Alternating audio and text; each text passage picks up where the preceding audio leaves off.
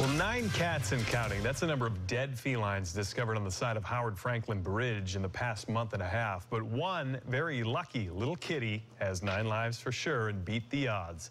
Look at Peter getting close there. Exactly how the cats are ending up in the span between St. Petersburg and Tampa is still a mystery. Some theorize that they're being tossed from moving cars. News Channel 8's Peter Bernard is live along Howard Frankland tonight. So how did this little kitten manage to be spotted in the first place on that busy roadway and get picked up?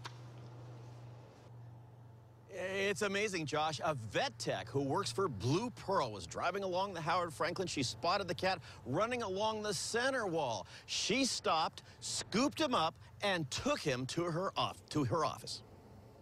Uh, this is little Howard Frankland. We've been calling him Frank. Mm -hmm. Victoria Dallum's commute takes her across the Howard Frankland Bridge to her job at Blue Pearl Veterinary Partners in Tampa. But I saw him running along the little concrete wall there on the far left side. I saw this little puffball thing running along, and I was like, no!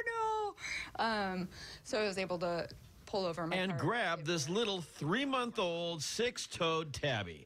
Vets at her job discovered an injured nose, some bottom teeth knocked out, and an abrasion on his head. But he's so such a sweet, like nice, like laid-back little dude. Yeah. Um, so I, I can't imagine he got out there on his own.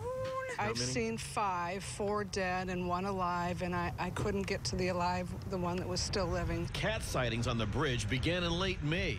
Mary Beth Singh has a theory of how they're getting out here. This is someone that just doesn't like cats, that's throwing them out of a car window alive.